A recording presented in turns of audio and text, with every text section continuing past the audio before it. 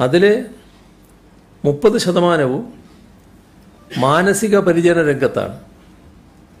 കിഴക്കൻ യൂറോപ്യൻ രാജ്യങ്ങളിൽ നിന്നുള്ളവരായിരുന്നു ഇത്തരം ജോലികളിലേക്ക് നേരത്തെ എത്തിയിരുന്നത്. ബ്രെക്സിറ്റ് വന്നതോടെ ആ സാധ്യത അടഞ്ഞു. അതുകൊണ്ടാണ് നമ്മുടെ നേഴ്സുമാരുൾപ്പെടെയുള്ള ആരോഗ്യ പ്രവർത്തകർക്ക് പുതിയ അവസരം ലഭ്യമാകുന്നത്. ഈ സാധ്യത പ്രയോജനപ്പെടുത്താൻ ആവശ്യമായ ഇടപെടൽ നടത്തും. ഒപ്പുവെച്ച കരാർ പ്രകാരം നഴ്സിംഗ് പ്രൊഫഷണലുകൾക്ക് മാത്രമല്ല ആരോഗ്യ ഇതര മേഖലയിലെ മറ്റ് പ്രൊഫഷണലുകൾക്കും ഇതര രംഗത്തുള്ളവർക്കും യു കെ കുടിയേറ്റം സാധ്യമാകുന്നു. ഇതാണ് മറ്റൊരു പ്രത്യേകത.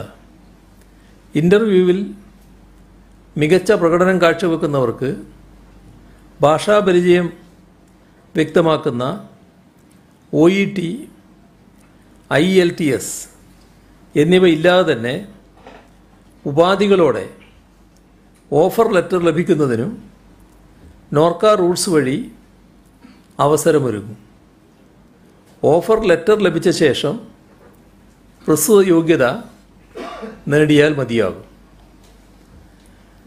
ആരോഗ്യ വിദ്യാഭ്യാസ മേഖലയിൽ കേരളം കൈവരിച്ച പുരോഗതിയുടെ തെളിവാണ് കേരളത്തിലെ ആരോഗ്യ പ്രവർത്തകർക്ക് ആഗോള തൊഴിൽ മേഖലയിൽ ലഭിക്കുന്ന അവസരങ്ങളും ആദരവും.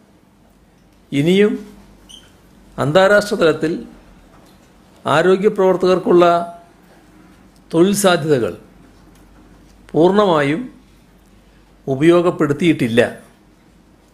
കോവിഡാനന്തരം ആ ഡിമാൻഡ് വർദ്ധിച്ചിരിക്കുകയാണ്.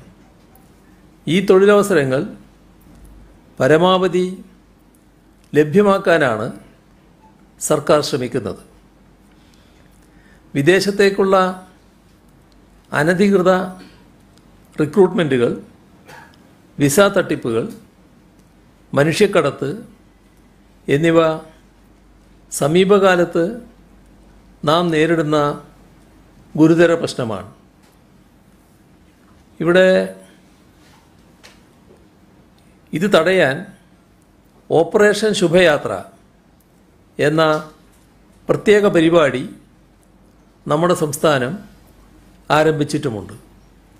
കൃത്യവും പഴുതുകളില്ലാത്തതുമായ റിക്രൂട്ട്മെന്റ് സാധ്യമാവുക എന്ന നമ്മുടെ ആവശ്യം സാധ്യമാകുന്നതിനുള്ള ഒരു ചവിട്ടുപടിയാണ് യു കെ സന്ദർശനത്തിലെ നേട്ടങ്ങൾ. ലണ്ടനിൽ വെച്ച് ലോർഡ് മേയർ ഓഫ് ലണ്ടനുമായി കൂടിക്കാഴ്ച നടത്തി.